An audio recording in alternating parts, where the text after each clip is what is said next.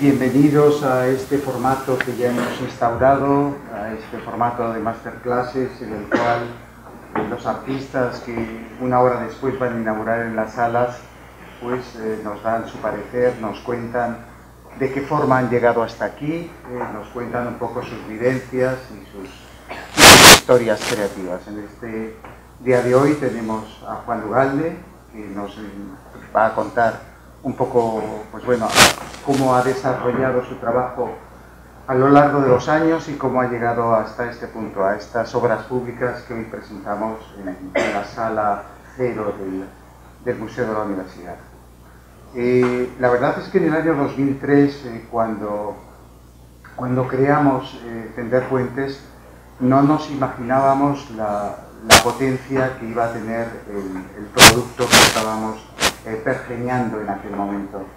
Eh, por él han pasado grandes artistas, en aquel momento eh, no teníamos un museo, ni tan siquiera en la mente de los más aventurados estaba el, que iba a existir el espacio que tenemos hoy aquí. Y por lo tanto teníamos que buscar otras fórmulas, otras fórmulas de exponer la colección. De esa forma, pues bueno, tuvimos la gran ayuda de Javier Manzanos para exponer las primeras piezas que llegaron a la colección en en la sala de zapatería del ayuntamiento.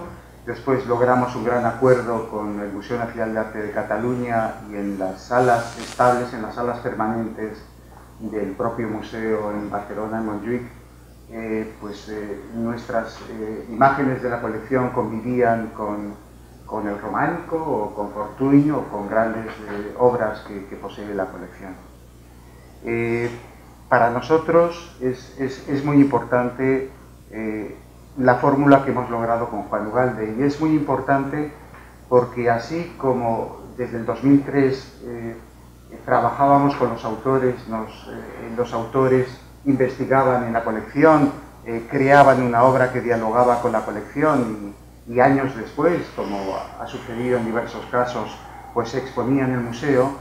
En el caso de Juan, cuando le pedimos que por qué no investigaba la colección, por qué no investigaba eh, pues nos presentó un boceto, nos presentó un proyecto del trabajo que iba a realizar y vimos tal potencia en su trabajo que decidimos directamente pues, hacer una gran exposición con la obra que preparaba.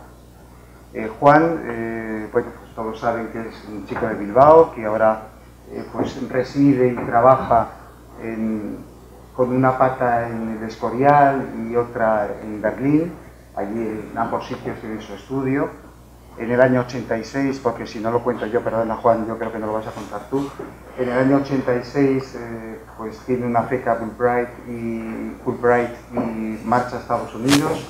Allí crea el grupo Strugenbank con su mujer, con Patricia Gadea, la pintora, con Mariano Lozano, con el poeta Dionisio Cañas y eh, ya después de vuelta cuando se disuelve el grupo en el año 91 eh, pues ya se dedica eh, prácticamente hasta la actualidad, eh, no entra en otros grupos, sino que trabaja directamente. Ha trabajado con las grandes galerías de este país, trabajó en los 80 con la Galería Buades, en los 90, finales en el 98 con la Galería Soledad Lorenzo, ahora con Moisés Pérez Aldeniz. Y bueno, pues es importante el, el que esté hoy aquí Juan porque complementa perfectamente la posición de, Oscar Mariné, que estuvo la semana pasada. Ambos eh, eh, se desarrollaron o, tuvieron ese boom en ese Madrid creativo y convulso de los años 80. Eh, Oscar Mariné, evidentemente, más enfocado hacia la música y el diseño, y Juan, pues un poco heredero, con ese padre, como muchos otros de la nueva figuración madrileña, con ese padre que fue Luis Gordillo. Y nada más, pues dar las gracias a Juan, porque cuando nos presentó el boceto pues nos encantó, pero cuando hemos visto el resultado pues es mucho mejor que lo que nos presentó. Espero que aunque no vean ustedes el boceto, pero que cuando vean la exposición pues lo sientan de esa forma. Gracias Juan. Bueno, yo casi prefiero de pie porque si no, estar aquí sentado es un poco raro. Eh, eh, claro, es una exposición un poco especial en el sentido que, es una exposición, no, es que hagas una exposición con cuadros tuyos en el museo, sino que es un trabajo de colaboración en el que me solicitaron de alguna manera eh, ver la colección que tienen ellos de fotografía y yo elegir algo para trabajar yo con ello. ¿no? Entonces eh, elegí una serie de un álbum de obras públicas, dos álbumes de obras públicas que me encajaban muy bien con mi trabajo. Y entonces ha sido, por un lado, el trabajar con ello, luego eh, me propusieron hacer, usar el espacio cero, que es una sala muy grande, y entonces esto, primero fue como, bueno, a ver qué hago yo aquí, porque claro, eh, no es lo mismo un, escultor o tal que con un espacio como ese. Entonces hay un, hay un punto ahí, eh, es una instalación con cuadros, ¿no? Y, ha habido una colaboración directa del museo en construcción de puentes, de, distintas estructuras, que realmente eh, ha sido un trabajo muy fino, digamos, los montadores. Entonces, en primer lugar, agradecer al museo, a la dirección, a, los encargados de las exposiciones, Rafael Levenfeld y Valentín Balonrat, que hoy no está aquí. También el, equipo de, Pachi Roldán, que ha hecho un trabajo ahí de carpintería, de un poco hemos literalmente construido puentes y arcos y estructuras en madera como se hacían en algunas de las fotos. Y, bueno, la idea esa de tender puentes aquí ha sido, pues eso, el, ir haciendo estructuras eh, y, montar una, una, instalación con ello, ¿no? Tengo aquí las...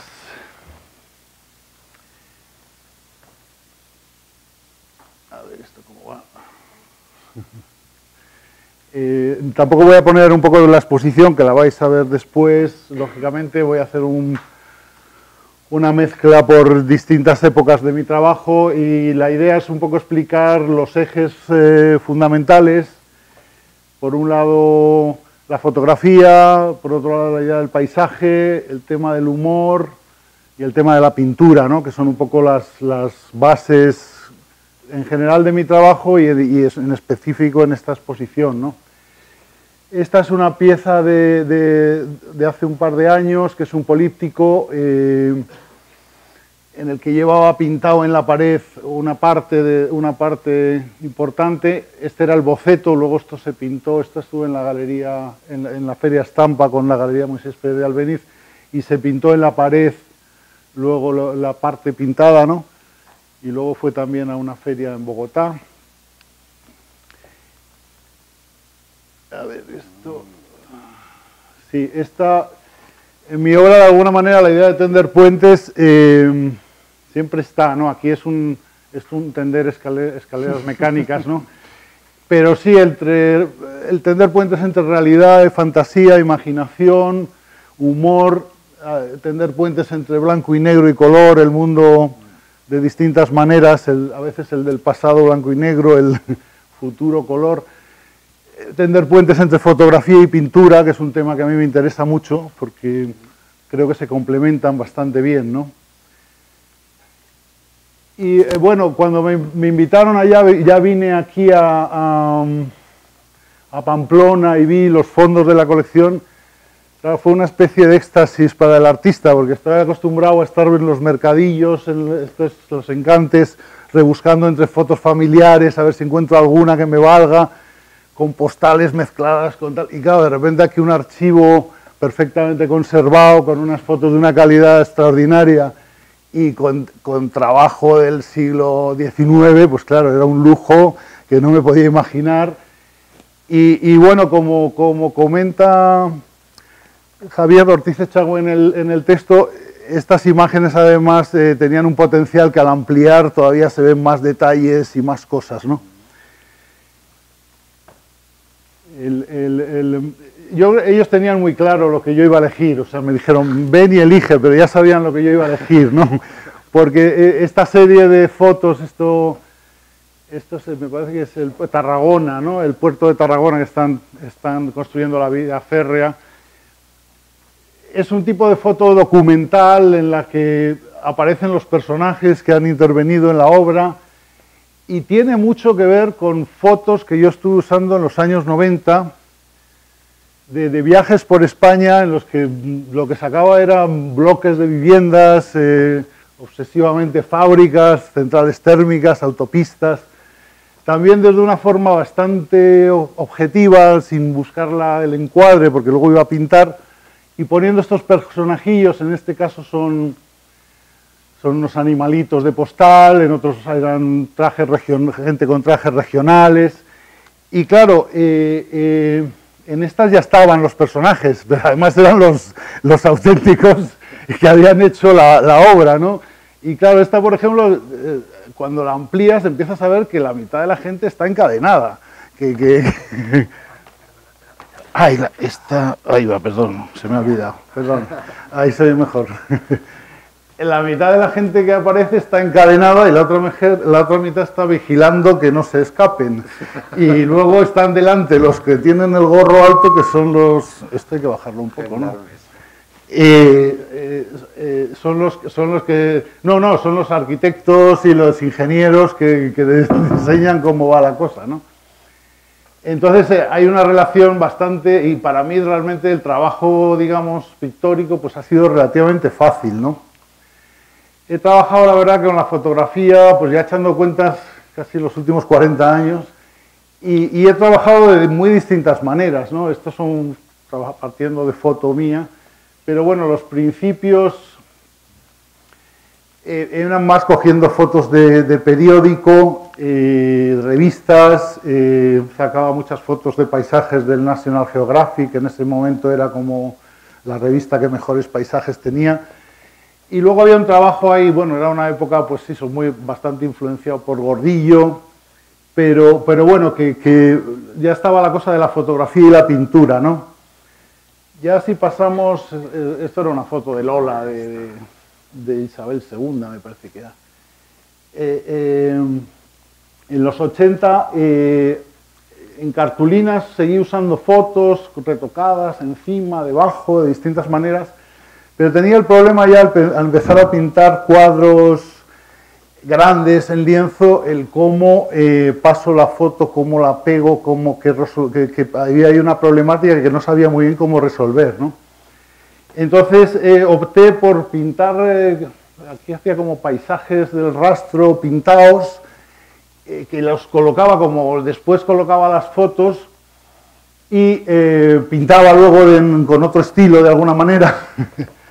Estos son obras de, de los, de los 80, esta que va ahora, eh, va a exponerse pasado mañana, se inaugura en, en, Caja Murcia, es de la colección de, de, Lico y hace una exposición sobre pintura de los años 80. Gato ZZ, que estaba en la Galería Boades en la primera exposición que hice. También ahí estaba un poco la misma idea, ¿no? El, el, eh, no, no no compraba los cuadros del rastro, sino que los copiaba porque me salían muy caros y, me salían fatal, pero bueno, luego montaba ahí mi, historia, ¿no? Luego ya en los, en los 90, pues ya empiezo a probar cómo pegar la foto, cómo de revelar el varitao, pegar en húmedo, quitar arrugas, que luego durabilidad, barnices, relación con la pintura, y ya empiezo a sacar mucha foto un poco de lo que contaba antes, ¿no? este tender puentes, pues bueno, igual que en el otro hay vías férreas, aquí es el Scalectric de, de Santa María de la Cabeza, me parece que es, con un bloque que luego le he puesto en vez de un personaje, pues un arbolito encima, ¿no? Este, es, eh, otro, este cuadro estuvo en la Galería Natalie Pariente, que ha venido hoy también a, la exposición en París.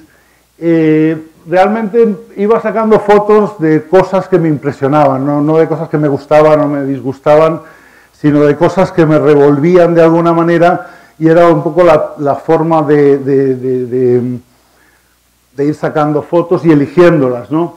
Las que más me revolvían eran las que las ponía y, vuelve a aparecer el personajillo arriba, eh, siempre hay unas constantes ahí que también tienen cierta relación con, con, las fotos de, la exposición de ahora. ¿no? Esta, eh, una de las primeras fotos que saqué en Berlín en el año, pues sería 94, recién caído el muro, y era una chabola que alguien había construido en tierra de nadie y que nadie le reclamaba el terreno, y entonces eh, estaba yo estaba a ver si él estaba arriba, eh, pero yo estaba a ver si aparecía, pero no, cuando vio un fotógrafo se, se metió para adentro. Y lo curioso es que la, la, chabola sigue en pie hoy en día. Fui un día y le enseñé, es un turco el que la tiene, y le enseñé el cuadro. Él no vive ahí, sino que vive porque ahí hace mucho frío, entonces vive en una casa al lado social y tiene ahí, lo ha llenado todo de árboles y de huerto.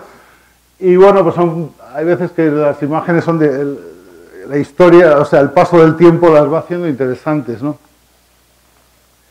Esta es una colaboración, en, algunos casos he, trabajado con otros fotógrafos, esta es una colaboración que hice con Luis Bailón, es un fotógrafo que a mí me encanta y es amigo, pero claro, ahí había un poco el problema de la visión del ojo del fotógrafo y luego mi, mi, intervención, ¿no? Y me daba un poco a veces problemas y la verdad que no he, con fotógrafos, digamos, de foto de autor, no he trabajado mucho más, ¿no? Algunas cosas, pero vamos. Eh, esto en cambio es otra, otra, otra, usando fotos de un tío abuelo mío, Alfonso Ugalde, que era médico y, y, le gustaba la fotografía, salía todos los días con la cámara a sacar fotos de San Sebastián, años 50, 60.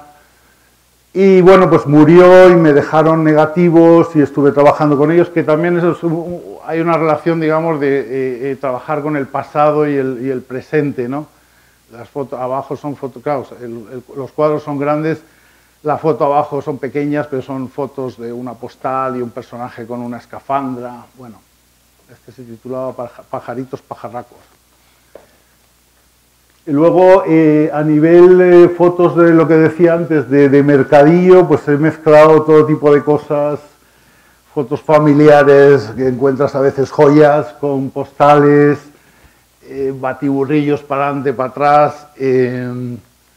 En esta, por ejemplo, pues hay una parte de, de postal de pintura histórica, luego hay una parte de postal de los años 50, luego hay una parte de fotografía mía, luego abajo hay un, paisaje con de una autopista y luego por ahí hay también eh, unas, eh, tengo para señalar si queréis, aquí hay unas señoras en barco, bueno, es, un, es una, una mezcla de composiciones eh, en una misma imagen, ¿no? que es un tema que también siempre me ha interesado.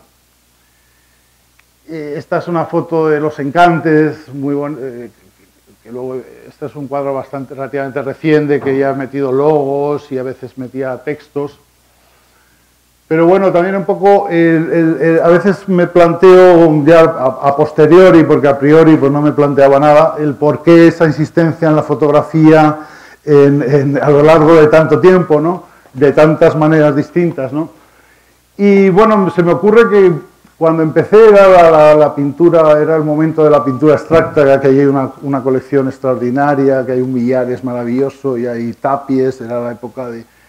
Y de alguna manera, em, por ahí yo no veía un poco el asunto, ¿no? Me, interesaba la cosa como de, tomar tierra con la realidad, ¿no?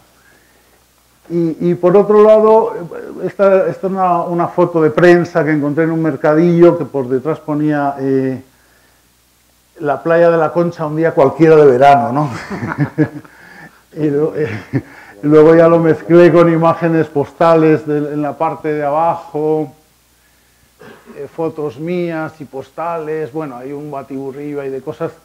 Esta la verdad que estaba, cuando lo pinté, estaba sin un duro y, gané el premio L'Oreal y fue un espaldarazo así para poder estar trabajando porque la cosa no era nada fácil, ¿no? Eh, se titula La nave de los locos, ¿no?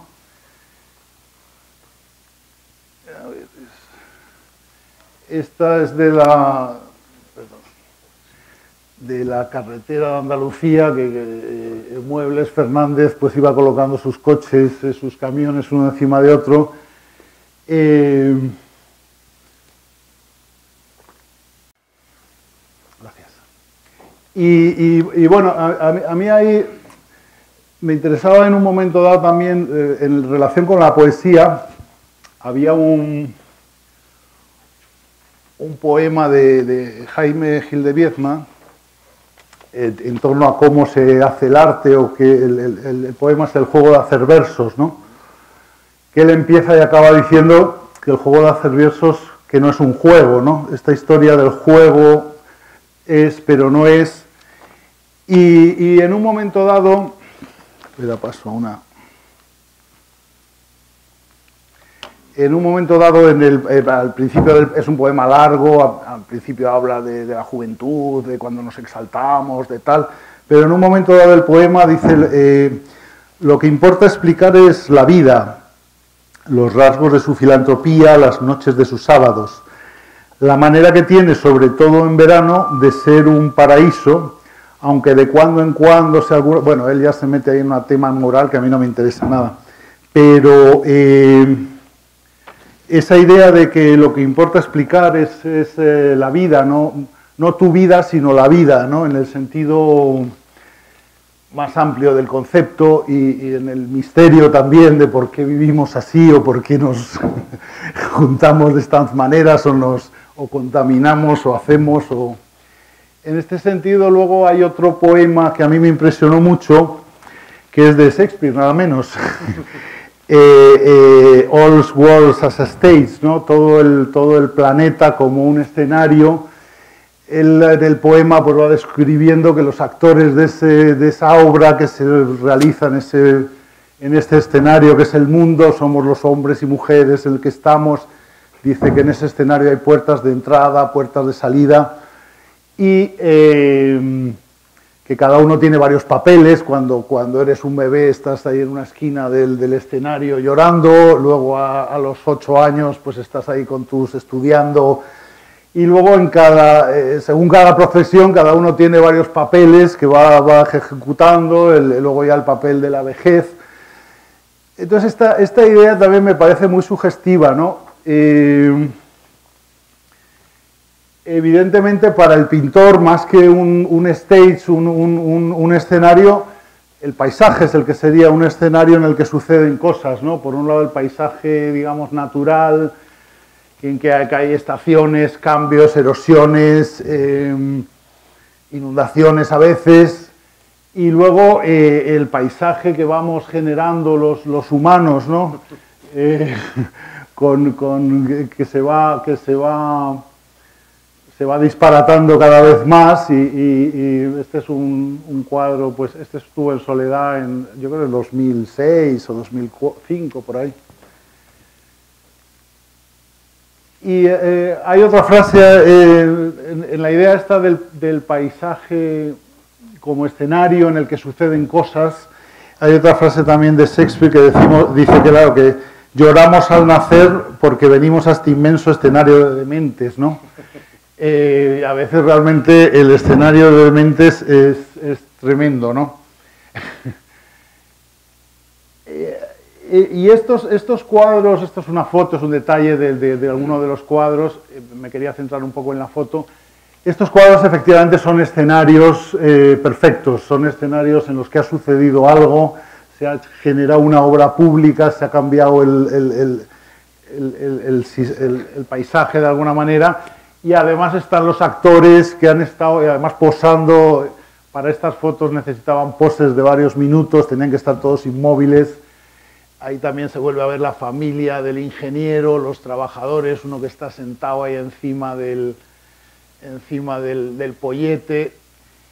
Y, es impresionante luego esta, esta, esta, esta planicie desértica, ¿no? Esto era el, acueducto de Amaniel eh, eh, y, este paisaje que, vemos aquí ahora es el centro de Madrid, ¿no? Esto, es, esto esto está al lado de Cuatro Caminos.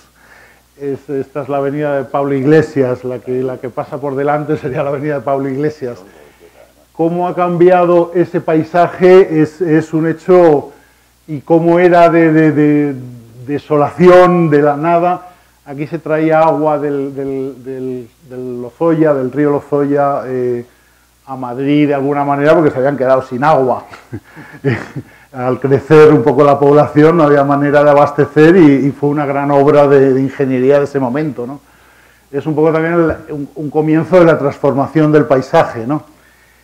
En esta otra que he cogido un poco porque es el, el, Escorial, que es donde vivo, pues vivo aquí un poco más acá de donde se sacó la foto más o menos.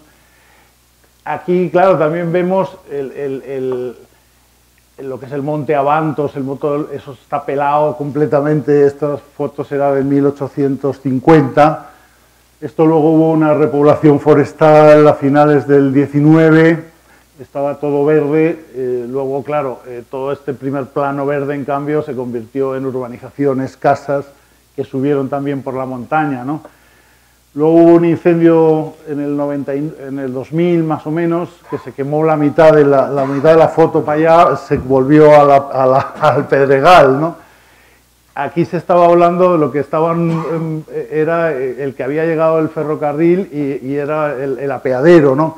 Aquí luego se construyó una, una estación y luego esta estación se hizo, ahora es subterránea. Entonces, es interesante el paso del tiempo en estas fotos. Yo, claro, yo luego voy añadiendo cosas y tal de, con otro, pero luego también ves en el paisaje nos cambios más profundos. ¿no? este año, por ejemplo, pues la, floración de, San Juan, de, la, de las lilas, se ha, se ha adelantado un mes, las moras también, ya no nieva, en fin, hay una serie de cosas que la transformación del paisaje eh, tiene mucho que ver y, tiene con esas obras públicas cuando se han empezado a disparatar en el, en el, en el asunto. ¿no? Esto, no sé qué ha pasado. Bueno, sí, esta es una foto de, las nuevas, los, paisajes, digamos, de central térmica eh, que estamos, que, evidentemente van a hacer cambiar el, paisaje, el escenario ese de Shakespeare completamente segura en muy poco tiempo. ¿no? Luego aquí retomo un poco los 80, este era un cuadro que se titulaba Noticias con termómetro. En el cambio del paisaje, en nuestra percepción del paisaje, ¿no? siempre en el paisaje hay un observador y el paisaje como observado. ¿no? El cambio que supone que en vez de eh, la fuga que fugaba en el horizonte, empiece a fugar en estas pantallitas que todos tenemos en la mano todo el día, y que de repente nos estén conectando realidades completamente distintas eh, y, generando nuevos espacios en los que nuestra mente circula, ¿no? con las redes sociales, con todo este tipo de mezclas de publicidades, de veraneos, de realidades de laborales, toda esta mezcla de, de historias en la que vivimos. ¿no? Y este ya es un cuadro, es un desguace en, Tomelloso. Me, hace gracia también porque en, la exposición hay unos cuantos faros, este podría ser un faro del 20, ¿no? le puse un arbolito encima del coche, el tío ponía el coche ahí arriba pues, para que la gente viera de lejos que hay un desguace. y ahí quería ya un poco conectar con el tema del humor, que es otro de las, de las cosas que de alguna manera he ido siempre llevando conmigo de muy distintas maneras. ¿no? Eh, aquí vuelvo a la playa de la Concha de otra manera, con una foto ya hecha por mí, eh, con otro esquema de humor. Esta es una foto de la foto, er, es una foto de mi primer estudio, antes de la era para la exposición de la Galería Boades. Hice una serie que me sacó las fotos el fotógrafo Luis Pérez Mínguez y luego yo retoqué encima, yo creo que toqué también me toqué un poco la corbata. Era, la idea era presentarla como foto para la, para la invitación, luego se eligió otra, pero bueno, está, está bien porque aparece, aparece ahí, yo a tener pues 24 años más o menos. Y esto me voy un poco para atrás, estos son mis profesores de matemáticas, física, literatura. Y bueno, fue una especie de obsesión en, los últimos años de bachillerato el hacer caricaturas y, tratando el humor de otra manera, ¿no? Y, bueno, me, causó algunos problemas con los profesores que se veían muy reconocidos, lo cual por otro lado también era un éxito. Esta es de la época ya del grupo Strugenbank, que era una ilustración, ahí cogíamos... Eh, directamente e imágenes de la Rueda del Percebe, de Ibáñez, y, las transformábamos mínimamente. Esto es un proyecto para, hacer en, la calle, eh, de poner una bola del mundo en, este sitio de palmeras y arriba pues un caballo con unos personajes con traje regional encima del edificio. Esto es un edificio de la Barceloneta que está lleno de esculturas y se me ocurrió esta, esta intervención ¿no? pública.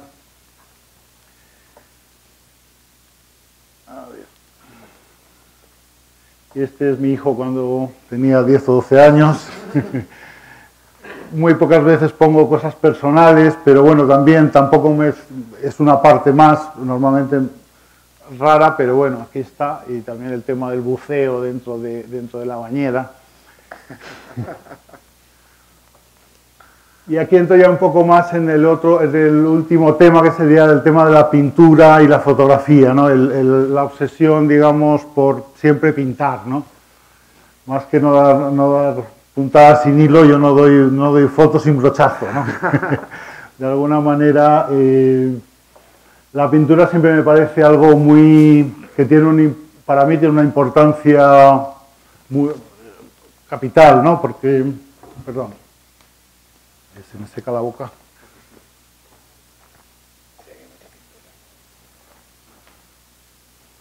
Y a veces, aunque, aunque sea mínimamente, claro, la pintura es algo que en las últimas décadas pues, ha estado desapareciendo, muriendo, renaciendo. Esta es una maternidad de la pintura en los años 80, era maternidad con flan en la pintura. Eh, ¿Por qué me interesa? Pues evidentemente ahí está el tema del brochazo, el tema del tacto, el tema de la vibración, el tema de la pulsión, el tema de la lectura del cuadro, ¿no? Ahí, eh, releyendo un poco un libro de Fernando Zobel, que es un cuaderno de apuntes en el que es, es un recopilatorio de citas de arte, me encontré con una, cita que ya había subrayado hacía muchos años, yo creo que en los 80 a lo mejor, y era de un chino de 1300 que me impresionó por la fecha, ¿no? Más que, y que dice, eh, lo que yo llamo pintura no es, más, no es más que un jugueteo con el pincel, ¿no? La idea del jugueteo otra vez y la idea del jugueteo con el pincel eh, creo que es algo a que a mí me atrae mucho, el, el la presión del pincel, el, contar cosas a través del, pincel, ¿no? Por otro lado, eh, el arte chino también me interesa mucho, eh, me impresiona la idea de que para el arte chino la pintura es una puerta al paisaje interior, ¿no? Que ellos lo ven a su manera, pero bueno, yo de repente me lo planteo en Occidente como eh, en relación entre pintura y paisaje interior. Este es un cuadro muy chino o japonés. Era, se titulaba Las invasiones bárbaras. Y eh, esto del paisaje interior, evidentemente yo a veces sí he experimentado cuando pintas que como si la pintura saliera del estómago. Eh, hay un punto ahí visceral que de repente te sientes como que sale de dentro algo que no entiendes mucho y que salen cosas muy raras y que a veces dices, bueno, voy a, ver, voy a respetarlas por si acaso. Evidentemente hay un punto ahí en la pincelada, en la presión, que yo creo que pasa un poco como en la grafía, en eh, cuando, cuando hay un juicio y mandan que venga un grafólogo a ver si el, si el reo miente o no miente. Yo creo que en la pintura llevamos una cantidad de tiempo viendo pintura, leyendo pintura, leyendo pinceladas, leyendo entre líneas o leyendo entre pinceladas lo que pasa y, eso en, el mundo digital desaparece, ¿no? El, tacto de la pintura es algo que a mí me interesa mantener porque, porque tiene ese, ese, punto táctil de misterioso, extraño, que no sabes a dónde, a veces lo que sale, te quedas como asombrado, pero dices funciona, no funciona, hay, un, hay una cosa ahí irracional que muchas veces pues, eh, se mezcla muy bien con, con la, fotografía, ¿no? Este era el niño haciendo Don Tancredo en Sestao, que es, justo estaba en Bilbao y me dijeron que había habido un escape en Sestao y me fui con la cámara y apareció esta niña que se puso a posar así de forma natural eh, con la fábrica detrás donde había habido el escape que había dejado medio intoxicado a medio pueblo, ¿no? Eh, bueno, sí, un poco la idea de la foto, la imagen exterior, cómo llevarla a otra cosa que no es real, pero que puede estar en la mente o puede estar en el inconsciente o puede estar en nuestro interior, ¿no? Eh, luego en esta, en esta exposición eh, he utilizado, em, tiene una parte que es muy instalativa. ¿no? Eh, yo en los últimos años había estado usando textos en los cuadros, incorporando con serigrafía frases o poemas. Para esta he utilizado unos poemas o fragmentos de Leopoldo María Panero, de su primer libro que se titula Sinacio Carnavi Street que es un libro que leí hace muchos años, me impresionó muchísimo y ahora, pues cuando estaba trabajando en esta exposición, releí Él murió y recuperé el libro que lo había perdido en las reediciones que se han hecho y realmente me parecía que encajaba mucho en todo esto del paisaje, de la actuación en el paisaje, del paisaje interior, del humor y de todo esto, ¿no? Entonces, bueno, son frases que luego están por las paredes y también un poco quería mostrar em, algunas instalaciones em, que he hecho últimamente, trabajo más las exposiciones como un espacio en el que plantear una, instalación con cuadros, ¿no? Esto era para la última exposición que hice de la Galería Moisés Pérez de Albéniz. Pinté toda la galería con carboncillo, como si fueran olas, eh, energías moviéndose entre los cuadros esto no es en la galería, esto es una prueba que hice en mi estudio a ver cómo quedaba antes de meterme, destrozarle la galería a nivel paredes, que luego costó pintarlas de nuevo bastante. Y sí, era un poco la idea de eh, instalación en la que hay cuadros. Esta es otra del año pasado para una exposición de Virginia Torrente en el Ayuntamiento de Madrid, en Centro Centro, que era una exposición que se titulaba Casa, Estudio, Calle, Barrio y en la que lo, que presentaba eran más en cartulina, pero eran proyectos imposibles en torno a mi estudio. Em, y había una estructura pues mm, mucho más simple y mucho más, pero mm, que guarda cierta relación con la, con, con la exposición que se inaugura hoy, ¿no? Y esta es una exposición que organicé como comisario, invité a mucha gente a participar, y era una exposición de proyectos también posibles o imposibles para cambiar el Escorial, San Lorenzo y el Escorial, que son dos pueblos, y, que también el montaje fue sin poner nada en las paredes y más, eh, todo más eh, en el centro de la sala. ¿no? Y finalmente quería acabar eh, este, este, recorrido con este cuadro de principio de los 80 y con un haiku de, Panero, ¿no?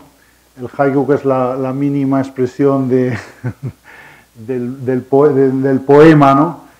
Y bueno, que me hace gracia la relación, ¿no? El, haiku dice, eh, un lago ha nacido en mi cráneo, flotan los peces, ¿no? Simplemente. y bueno, pues si queréis hacer alguna pregunta... ¿Por qué la, preponderancia crees en, tu obra? Ya sé que también porque te gustan esas fotografías antiguas encontradas en el rastro, etc. Pero si, si vemos en la balanza, hay mucho más blanco y negro que imágenes en color.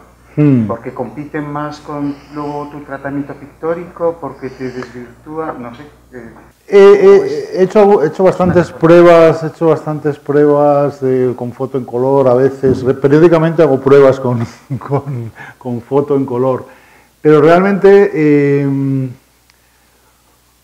con la pintura me funciona mucho mejor el blanco y negro, porque em, crea un, un, un, choque más importante ¿no? y, te permite que el color salga más.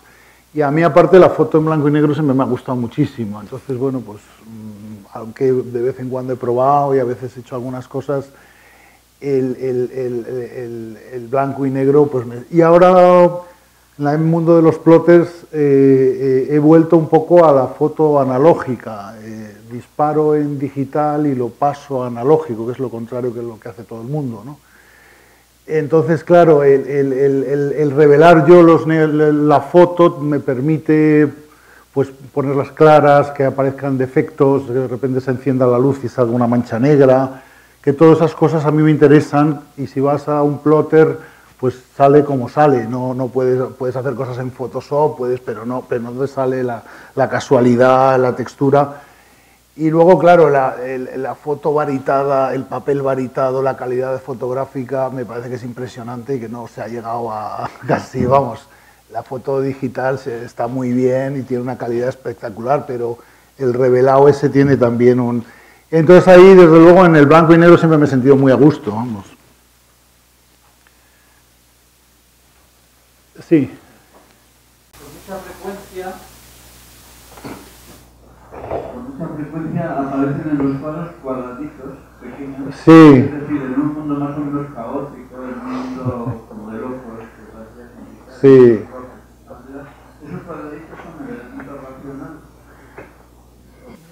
Bueno, la verdad es que eh, puse, puse el lavabo de mi casa de colorines y entonces me sobraron baldosines. y entonces empecé a ponerlos en los cuadros y funcionaban como color puro y con una potencia que me, que me... y los empecé a usar, ¿no? Y sí, evidentemente el cuadrado geométrico tiene algo que ver con la geometría, tiene algo que ver con... pero bueno, todo se mezcla de alguna manera, ¿no?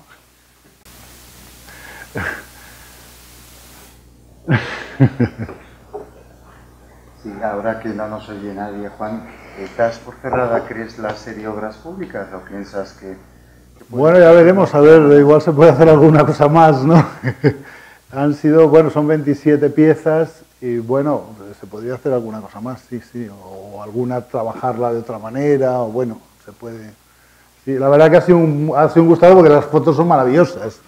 Y claro, el, el- el eh, las fotos originales son de este tamaño, de repente cuando las amplías mucho aparecen cosas que no ves a simple vista en la foto original. Entonces, claro, eso es una cosa que dices, madre mía, qué maravilla, ¿no?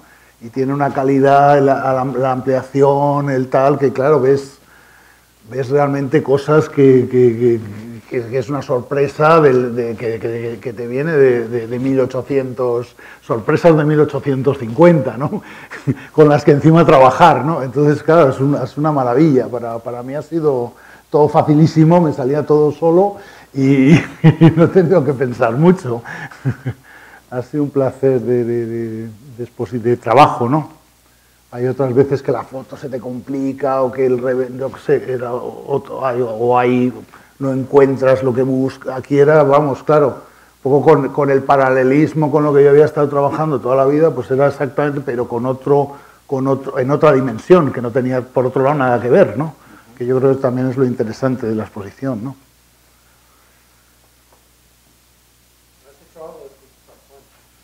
No, es, yo creo que es lo único que no he hecho.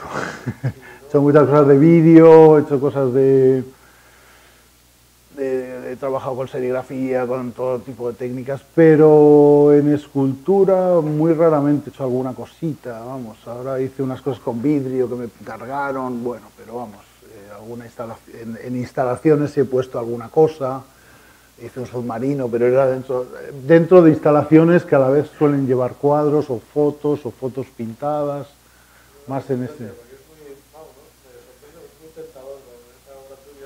A veces he pensado, digo, bueno, voy a, pero luego, pues no sé, hay una cosa ahí con la pintura que me tiene atrapado.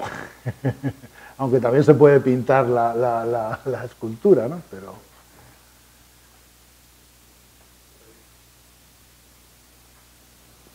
Pues nada, nos vamos a ver la expo, ¿no?